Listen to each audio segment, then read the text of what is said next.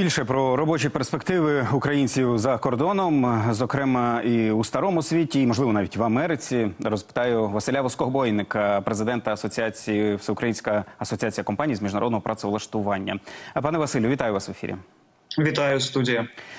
От е, здавалося б, е, кількість українських біженців, які опинилися в Польщі через війну в Україні, вона мала б вирішити проблему нестачі робочих рук у Польщі. Але ми, от і судячи з сюжету попереднього, бачимо, що їх е, все одно недостатньо. Чому на вашу думку? Відповідь дуже проста в Європі і в Польщі, зокрема, вирує демографічна криза. Кожного року з ринку праці Польщі виходить більше людей, аніж на цей ринок е, е, заходить, бо кількість молоді постійно скорочується, і це проблема знову ж таки підкреслюю не тільки Польща, але і всі Європи загалом.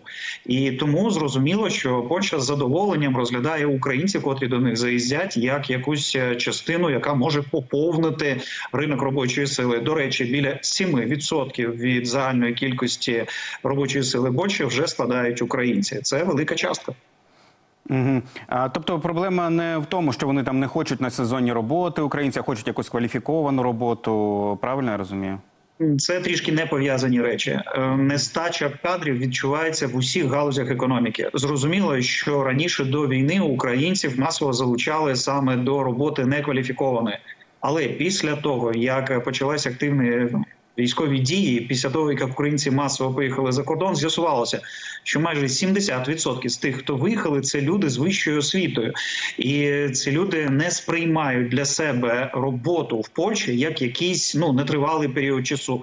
Якщо мова йде про сезонні роботи, то це 2-3 місяці. А люди там знаходяться вже третій рік, і зрозуміло, що вони шукають для себе постійну роботу, бажано кваліфіковану роботу, бажано роботу, де вони можуть прогнозувати своє майбутнє майбутнє розвиватися, в тому числі як фахівці. І ось тут якраз і відбувається зміна напряму працевлаштування українців від сезонних робот до більш кваліфікованих, до більш високооплачуваних, а не кваліфікованих працівників в Польщі завжди не вистачало. Е, до речі, щодо оплати, е, чи впливає ця ситуація з нестачею кадрів на рівень зарплат? Чи пропонують зараз українцям е, більше ніж там, приміром, рік тому? Загалом можна констатувати, що в будь-якій країні Європи, якщо українець працює легально, працює офіційно на підставі трудового контракту, то він не може отримувати менший рівень заробітної плати, аніж місцевий мешканець, котрий виконує той самий обсяг роботи, і це дуже серйозно контролюється з боку місцевої інспекції праці, і це пов'язано не з тим, що українців хтось там полюбляє, а в першу чергу це пов'язано з тим, що місцева влада не хоче, щоб за рахунок іноземців відбувався демпінг на ринку праці, бо місцеві мешканці потім прийдуть на виборчі дільниці і будуть приймати рішення. Ну скажімо так, ті, які не сподобаються тій владі, котра буде ігнорувати їх інтереси.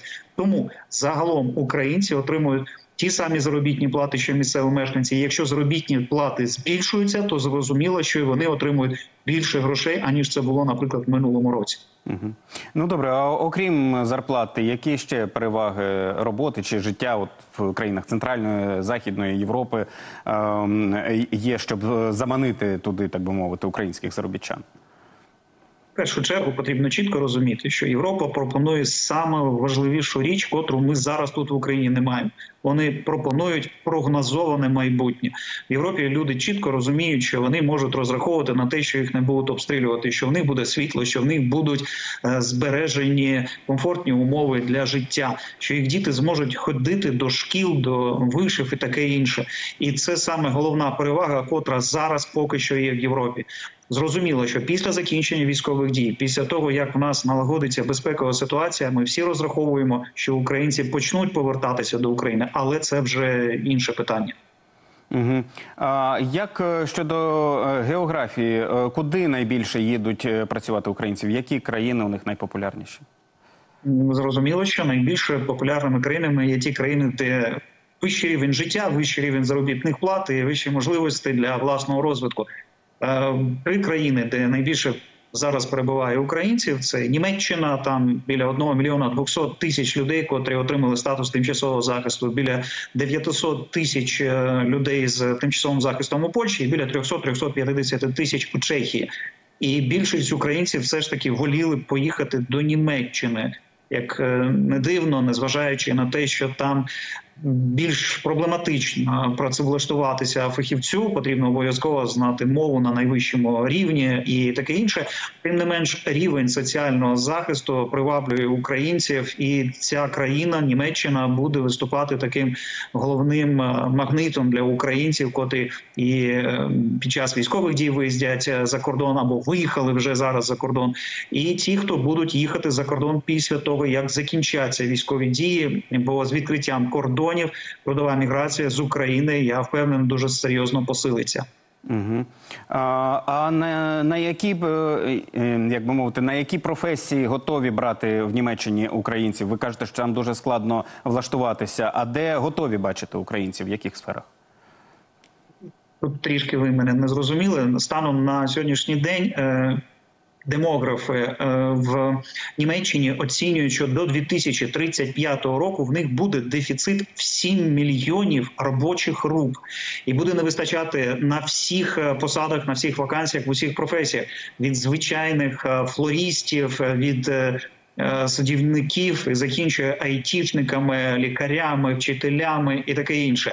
Щоб ви зрозуміли, що зараз в Німеччині йде дискусія, звідки взагалі вони будуть готові брати трудових мігрантів, і обговорюють такі країни, як Мексика, Болівія, Бразилія. Вони готові брати до себе мешканців е, Північної Африки. Вони готові брати людей е, навіть з Узбекистану, де вже відкриваються центри по вивченню німецької мови.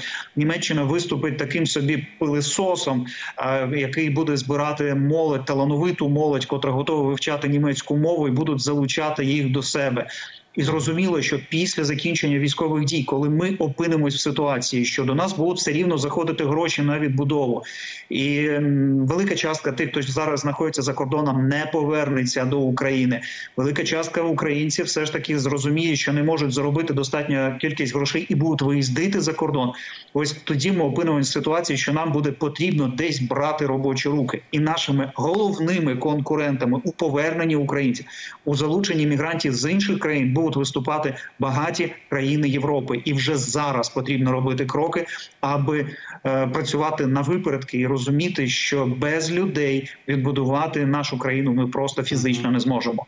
Ну буквально менше хвилини лишається. Можете коротко сказати, а як щодо а, Америки, наприклад, Канади, Е, чи стало там українцям легше працевлаштуватися е, після початку повномасштабного вторгнення?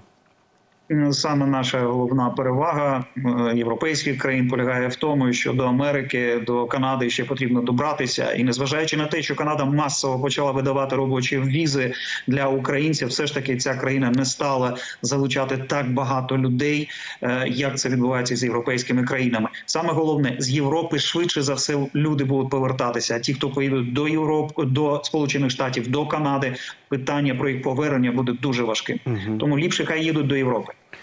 Я вас зрозумів. Дякую вам дуже. Це був Василь Воскобойник, президент Асоціації Всеукраїнська асоціація компаній з міжнародного працевлаштування.